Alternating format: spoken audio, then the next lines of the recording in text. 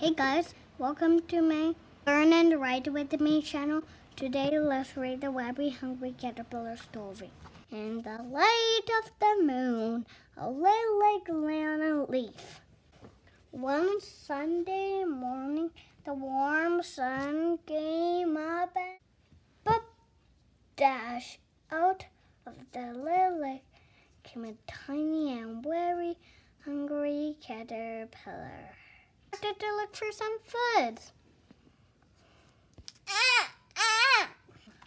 On Monday, he ate one apple.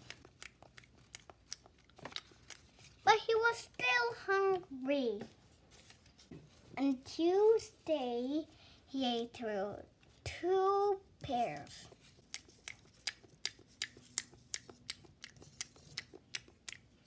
But he was still hungry. On Wednesday, he ate three plums, but he was still hungry.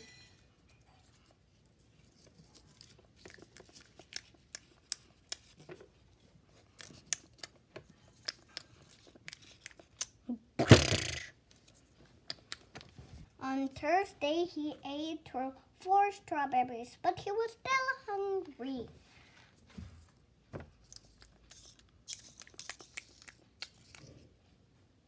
But he was still hungry.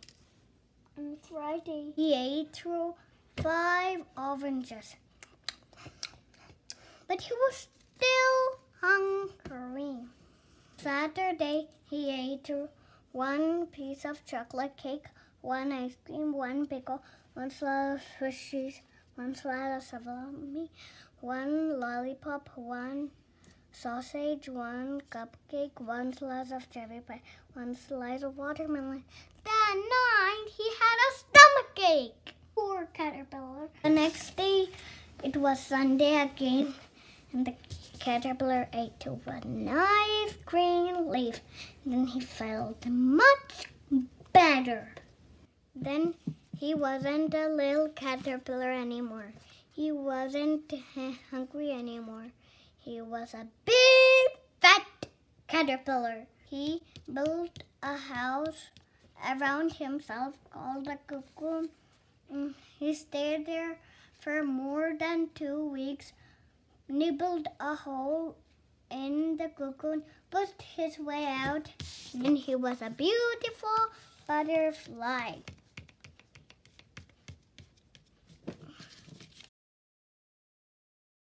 Hey guys, now let's learn about the life cycle of a butterfly. So first, egg, next caterpillar, next cocoon, next butterfly, again egg. It's like a cycle. This is the cycle of how butterflies are born. Thanks for watching my video. I hope you like my video and subscribe to my channels. Bye bye.